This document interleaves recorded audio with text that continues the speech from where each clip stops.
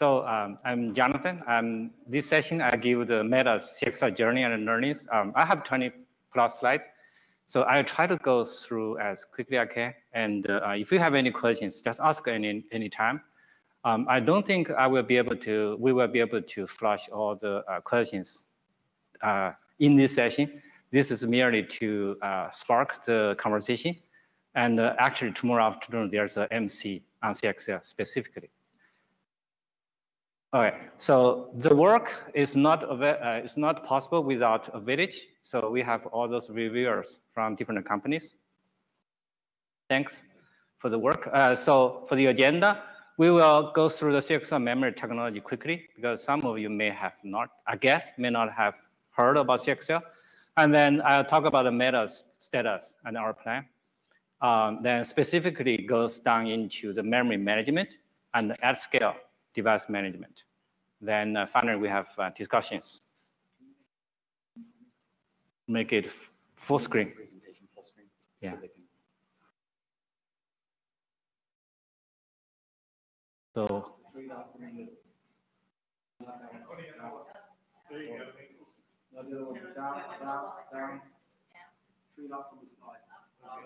This one? Oh, that one. Okay, okay, okay. I saw it. I saw it. Thank you very much. That's great collaboration. I learned something. It's the first time I use BBB. Not, not bad. okay, so um, if you go to this link, this public link, you can go, you can download the current spec, is 3.0, um, like 1500 pages. Um, so CXL, um, all the CXL devices, they are, um, CXL protocol are built on top of PCIe uh, protocol. All of them has to implement CXL.io, but depends on your usage. There are three different types. One type, the typical usage is like for NIC card, that uh, smart NIC, that it implements CXL.io. So you have cache coherency. You have cache inside the CXL card that it cache coherency with the system memory. Um, or you can have like GP GPU or dense computation for AI that you implement both CXL.cache and CXL.memory. That means the device has memory that's, uh, that the host can access, not just the device. Uh, the memory buffers uh, implement just the CXL.main, and the, the uh, usage could be uh, bandwidth and capacity expansion um, and also uh, storage class memories. And on and on. Those are just examples. So this is a diagram from the CXL spec. It shows you that in parallel to the PCIe protocol, it has defined the CXL the uh, cache protocol and the CXL the main protocol for link layer, transaction layer, and there's arbitration and mux layer. Um, the current status. So CXL 1.1 was released, I believe, is 2019, and then 2.0 is 2020. 3.0 was released last week, uh, last month. And this PDF has is white paper. So if you don't want to read 1500 page, read these three pages. Um, the processor, the CXL root port. Right now, we have 1.1 will be product launched soon, in a few months, I guess, I hope. And CXL 2.0 support right now is being worked out. The silicon companies are working hard on it. And the CXL memory devices, the 2.0 support will be product launched soon. And this table shows the differences between those three protocols, how it evolves. Um, so this is the basic configuration. You can see that the processor has processor attached DIMMs, and the CXL card has a CXL um, attached DIMMs. So now as a kernel developer, you say, what do I see from the kernel viewpoint, right? You run NUMA control. You see that this is a dual socket system. So you have two NUMA nodes, zero and one, both have CPU and memory. And you have a node two, which does not have CPU, but has memory. So it's a CPU-less memory, NUMA node. So what, what, why is the industry excited about CXL? Because it actually decouples the compute and the memory. Now it's not tightly coupled. So that frees a lot of things, changes quite some consumptions uh, or assumptions. Like it increases the bandwidth and the capacity. And uh, it gives you tiered memory hierarchy. If you look at the, the, the right bottom, this pyramid, you see that CXL memory actually fit in nicely a, uh, a void uh, area for the, for the latency. Um, it allows you to have media diversities. Your, your CXL memory could be any type of memory. Um, so your processor attached memory and CXL memory could be different. And CXL memory, you can do anything you want. Uh, it provides flexible and fungible memory. So this gives you something, uh, uh, very uh, hot term called, called software-defined memory now. You can do hot plug, you can have several hosts put in the same memory space, and you can share memory dynamically as well. So there are a number of published uh, use cases. So from Meta, from Microsoft, from Cast. So links are all there. So Meta's plan. So we finished the system level prototyping, including software and hardware. We met the latency and the power budget and uh, latency impact studied, and we posted the uh, kernel patches. Thanks for um, our kernel team. And uh, we worked through multiple generations of system configuration, multiple generations of devices and processors. Um, and we are working on the at-scale management. So this is our initial target, right? We start from simple use cases where CXL memory is added as system memory. It's static configuration. And for the kernel OS, by collaborating with the CXL kernel and OS community, uh, we did the memory management part, and uh, we together we are working on the device management part.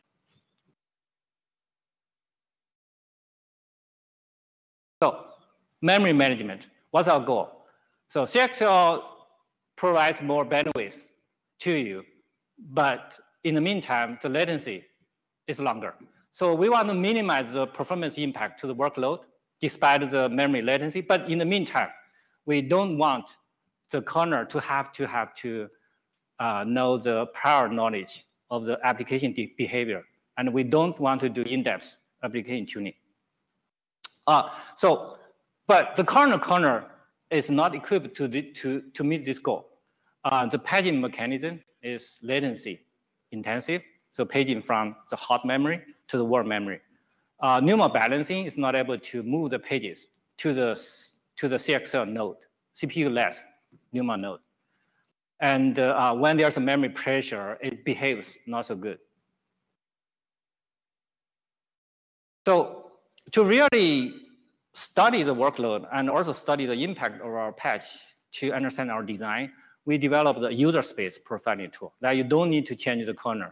Uh, and this gives you some examples of our data that we have a web cache one, cache two warehouse um, workload and uh, we find out uh, the access patterns. And uh, the, the, then we have this diagram shows up how we design this user space profiling tool. We will have it uh, posted upstream. Uh, the details are in our paper. Um, we developed a patch set on transparent page uh, placement. Uh, Jana sitting there actually is the author. Um, so our design is um, we we focus on the migration for the lightweight reclamation. Uh, we demote the code pages from the processor attached memory to the CXL memory and promote vice versa. Um, we decouple the allocation and reclamation, and uh, we also added bits to so, so that we can observe the behavior. Uh, the effectiveness is that you, we have two configurations. One configuration is all 96 gig of memory are attached to the processor. Another configuration is 64 gig attached to processor and 32 gig is a CXL memory. Uh, in this case, we can find that uh, with the TPP patch, the performance impact to the workload is less than 1%. So that's good enough for us in exchange for, for, uh, for, for, for other benefits.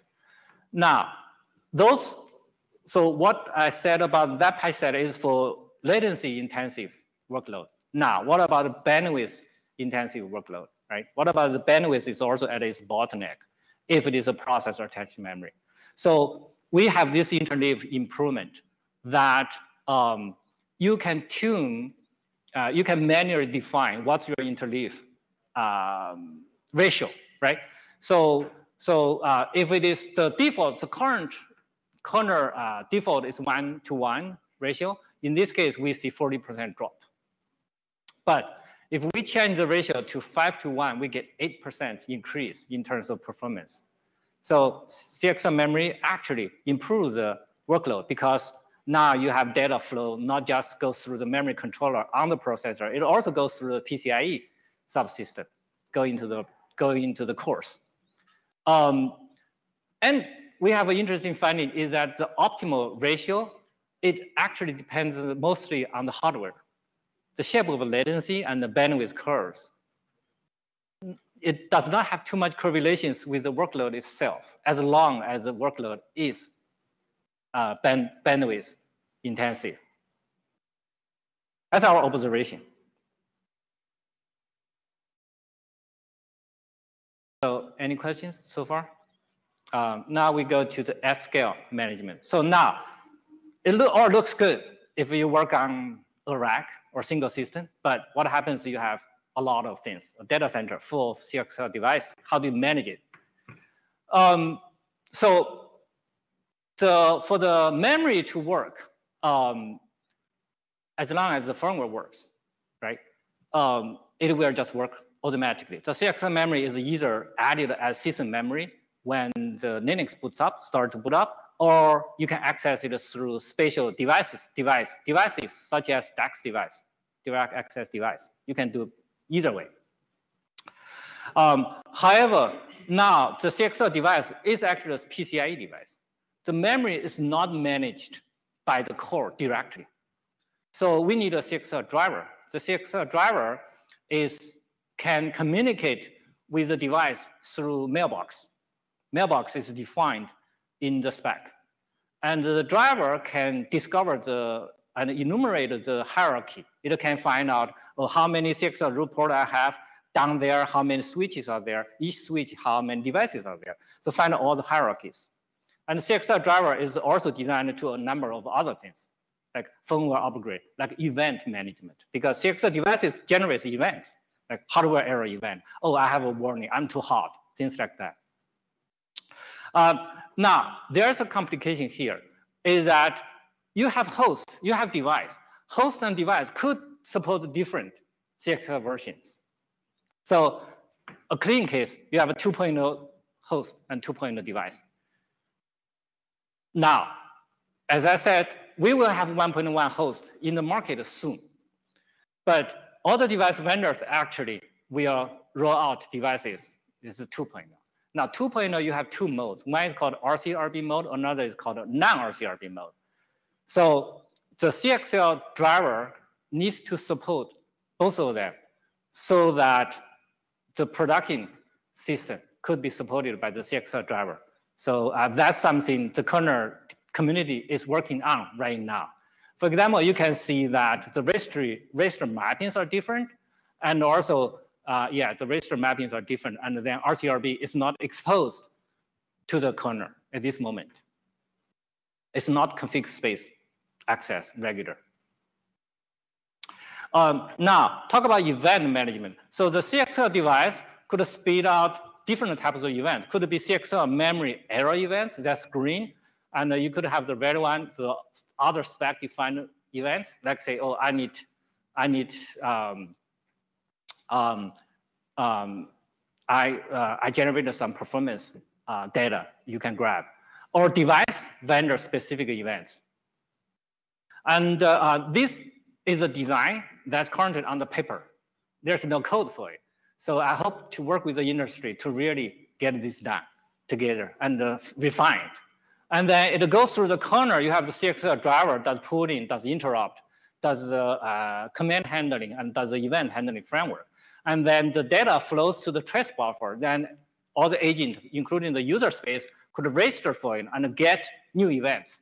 And once with the new events, it needs to go through the dispatcher. Go, some of the data, the green data, the RAS data goes to the RAS daemon, so that from user's viewpoint, all the DIMM errors, right? Uh, processor DIMM or the CXL DIMM they all go through ROS-DIMM, show up there nicely. You just say, oh, this memory attached to this processor uh, memory controller had an error. That uh, memory is a CXL memory is represented by this PCIe BDF, right? But device function had an error. So, and then flows to the device vendor's specific event handler. So we are thinking this design so that device vendor could add their extensions and the customer, like us, like Meta, we could have our own handlers to suit for our formats and policy needs. So this is on the paper. We hope to work with the industry to get, get it uh, improved. Uh, another complication brought forth by CXL is a reset. So PCIe, we all know that for PCIe device, there is hard reset, warm reset, and cold reset. So that's cool. That's almost the same for CXL. Now, there is added something called CXL reset. So CXL reset means when resets, it resets the entire CXL dot, um, dot IO and CXL dot main protocol uh, for all layers. Uh, now, now the complication is for the entire device. Now the complication is you might have multiple hosts sharing a device. This does not exist today, but it exists on the paper.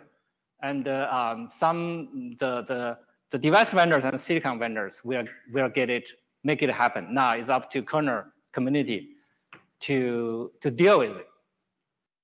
Um, HDM region. So HDM is a term you might not be um, be uh, be familiar with. This is a CXL spec defined term. It's called host host managed device memory. So in the device, you could have some memory just managed by the by the by the device, like today's GPU device, for example. And you could have some of the memory is actually CXL memory that host can access issue load store command directly to access them. So that region might migrate from one host to another host. Right? So when you do reset, you need to consider this. And that's from the um, from device viewpoint. Now from the host side, the host, you have a piece of memory region. The piece of memory region now points to one CXL device, next time may point to another CXL device. So those are the things needs to be considered. Now, the reset management, the CXL driver flow uh, to support the reset. Before the reset, you need to offline the HDM ranges. Um, and, uh, um, and make sure the host stop initiating any new requests and clear randomize the content from the security viewpoint. Because if you don't be careful, your memory now is exposed to another host or to another application. Um, then you issue the CXL, you tell the device to, to do a CXL reset. And after that, reinitialize all the CXL functions and reinitialize the HDM ranges.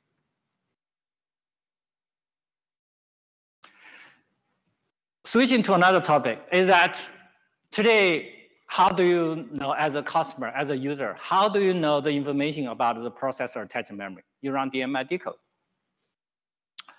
Um, now, the problem with the current DMI code is that it only shows you the processor attached memory data. Today, if you, you connect a CXL device, you don't see the, the, the, the memory from the CXL, mem uh, from the CXL device.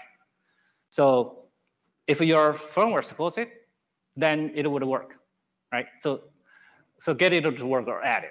Uh, we basically have CXL, uh, have host firmware in Linux, uh, by the way.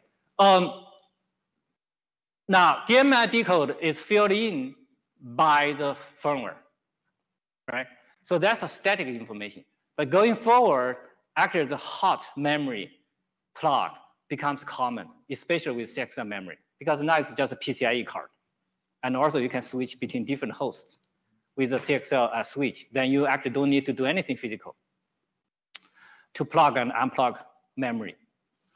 Um, and the DMI code only shows the system memory, does not show memories accessible through devices. Here, devices means Linux devices. This is DAX devices. Uh, so the proposal. What about something like LSMEM? It's similar to LSPCI, but it's actually more complicated than LSPCI. I'm not going through LSPCI today because there are patches posted for LSPCI because LSPCI today only understands PCIe language, does not understand the CXL dialect. So there's set for that already. Now, the, the memory side, if we focus on the memory side, how to show the kernel data, how to show the memory media information, how to show the interleave information. You could interleave between the CXL devices or interleave between CXL and the processor memories. That's all possible. And the memory segment information, what memory segment right now is provided by system memory, what are represented accessible through the kernel memory devices. And uh, what's the CXL hierarchies, right? With today's CXL memory, uh, CXL driver, uh, you know, kudos to the CXL driver uh, community. Um, in the sysfs, the hierarchy is there. We just need to show to the user nicely.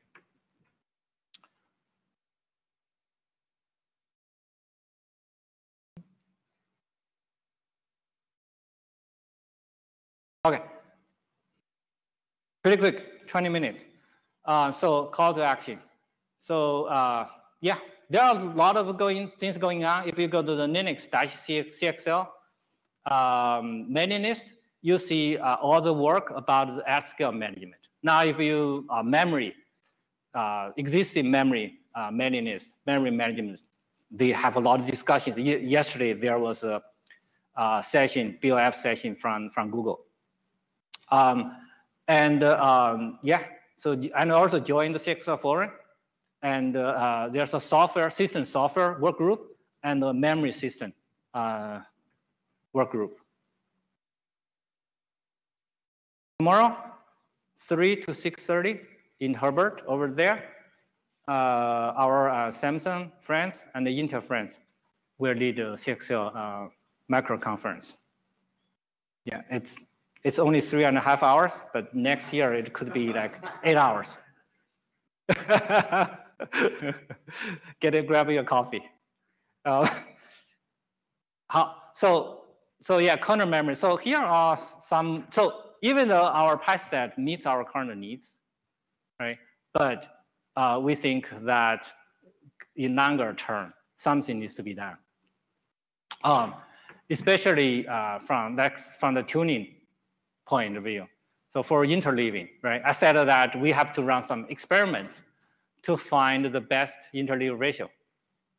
So how to tune the interleave ratio with less tuning effort. Um, second, the uh, latency sensitive workload and the bandwidth sensitive workload. Right now, we improve their performance uh, by different method. Now, they are exclusive technologies on one device you might have both workloads running. What do you do? For us today, it's not a problem, but for the industry, right? Um, tiered memory hierarchy. This uh, kernel team, kernel community has been discussing this for some years. Um, mm, the, we need we need some solutions. It, it will get more and more complicated. In our case, we have only two uh, configurations. One is a processor attached memory, and one is um, CXL memory. In the future, you have a lot more. You could have a lot more. Uh, like with switches, you add the latencies, some latencies, right? And you could have different me uh, memory, CXL memory media that have different uh, CXL, uh, have different memory latency uh, characteristics. So and today's memory hierarchy, memory management does not really consider the actual latency and bandwidth. It does not really consider that. It's not smart enough. Um, hot plug, yeah. Hot plug will be the foundation for the software-defined memory. So today we have nothing for that. Hot plug, you need to configure the, you need to consider the traffic management, device management, memory management, security. It's a lot of things needs to be figured out. Memory sharing. Once you have memory sharing, how to ma maximize its impact. Now you don't need to move data from one host to another host. How to use that? It looks very appealing, but how to use that? How to benchmark it? Um, any question from the audience?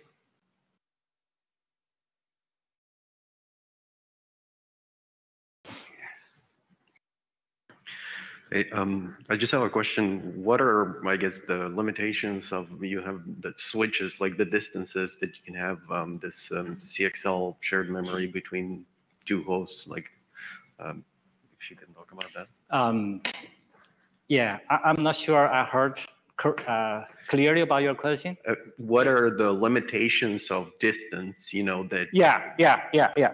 So, so if we go back here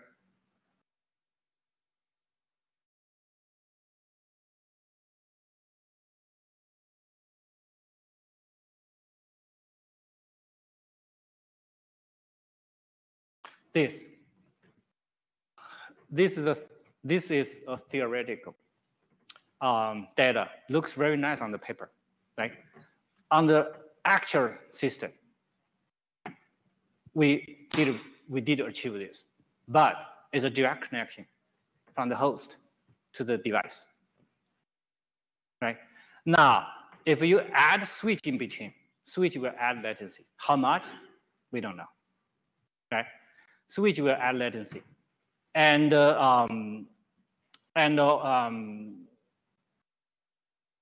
so this number, 170 to 250 nanoseconds, is about the same as if you're accessing the, um, the memory across the processor. So processor one's core, processor zero's core access processor one's memory, about the same. Yeah. We've got uh, Conan Kudo raising his hand on the, on the chat. Yeah. Uh, did I answer your question? Yeah. Yeah, we can talk more. What was the question? Yeah. Uh, Conan, go ahead.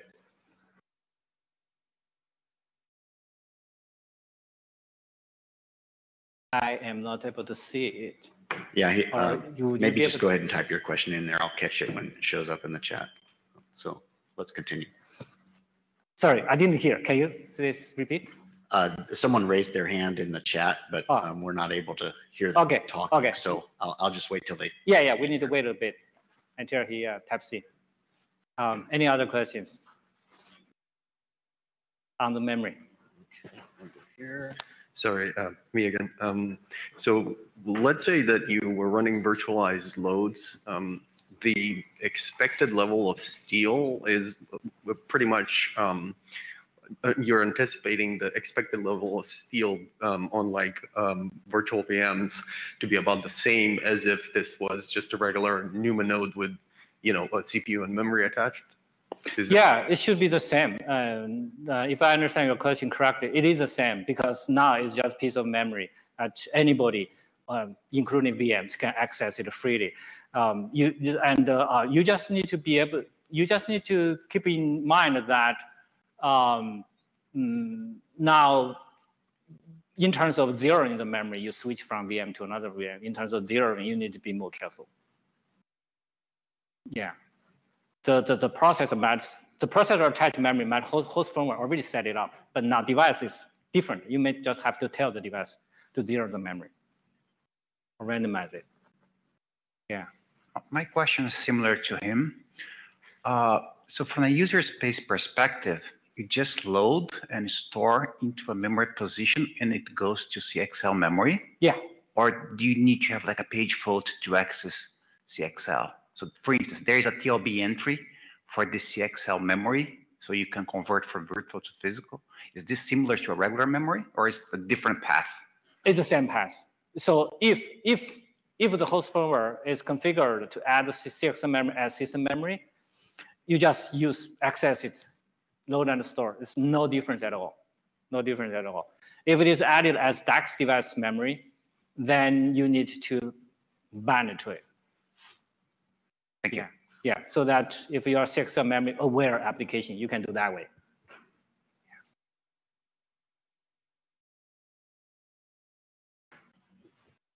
Any other question?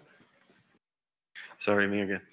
Um, the actual memory on the back end, um, is that, um, is there any way to, it, I guess what I'm trying to ask is, um, is the memory in any way virtualized? So for example, you had a failure and you could replace in runtime your backend memory and, you know, whatever P2Vs would just be remapped.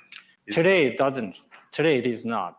So um, this is a this is a, uh stability um, uh, problem that needs to be managed very well. Is that today you know that if system memory has uncorrectable error, and it happened in the kernel critical region, then the kernel simply cannot run. If it's not critical region, you can do a lot of things just to quarantine it. Now, CXL memory is as it's in the same category as system memory now. So, so today, if some error happened on PCIe device, so what?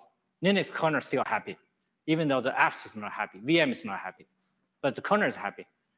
This is that this with CXL device, if there's a device error or CXL memory error, it impacts the kernel, has the potential. So the uh, the stability or it becomes very important. The device vendor needs to do a good job. Yeah, and a follow-up question. Um, The, uh, the backing devices, um, are they uh, dynamic, the dyn- dynamic add at runtime, or is this something that has to be, you know, after post? Um, It is dynamic in terms of how you map the memories. You can change it at runtime. However, you cannot um, dynamically provision a device. You cannot say you let's say two hosts connect to a switch to the same device. Um, you have to shut at this moment. You have to shut down both server and then you do the switch through the firmware. Mm, is not able to do that today. Okay, Yeah. thank you. Mhm. That was the last one. Yeah. Good questions. Hope in a few years the answer is different. Yeah. Okay. eh, Okay. Yeah. You you have a question? Oh, uh, online. Yeah, Just a little bit of a follow-on from that. Would you envision it becoming a sort of that where you would not want the kernel to run with the CXL device and just have these CXL devices used for like user space allocations and you would keep the kernel in DRAM?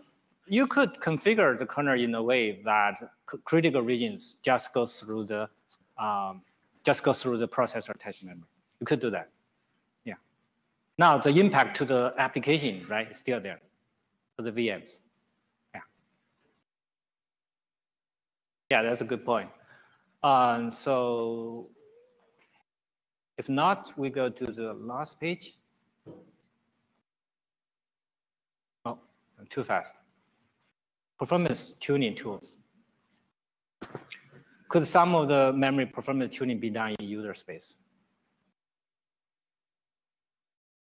How to change the latency and the bandwidth profile um, of a CXL memory regions to simulate memory hierarchy. This is basically about how to make the kernel developer's job easier. You don't want to have the, yeah, I mean, we have Meta has the luxury of having the devices. We have racks and racks of CXL devices we can work with. But uh, memory management developers, how do they simulate that? How to change the behavior of the benchmark, benchmarking apps, such as the page type ratio, memory access pattern, to simulate workloads. Right. So those are all about the tools of helping memory management work, of simulating the device characteristics, the system device characteristics, and uh, workload characteristics. How to do that? So we don't have answer. Some of you are smarter and will have answers.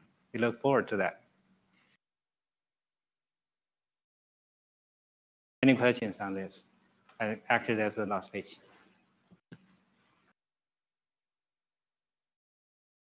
Or any other questions on any other aspects regarding CXL?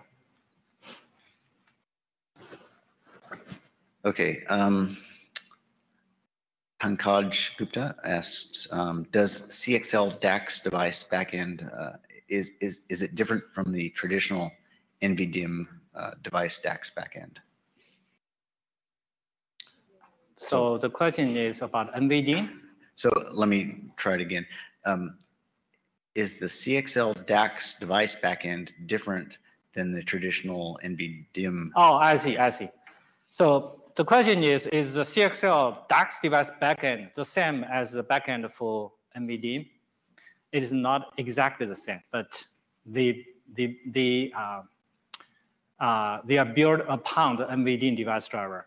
So uh, instead of uh, it's a pmem device, right now it's called HMEM device. I forgot the term. So if you go to the driver uh, Linux kernel code, you see driver pmem, and then you have a pmem directory and have a HMEM directory. So they share some infra infrastructure, but a different device driver. Yeah. So the DAX device, but you can use DAX control command, right? To change the CXL memory from system memory uh, to back to the DAX controlled memory or vice versa. Yeah, that's all working today. Um, any other questions?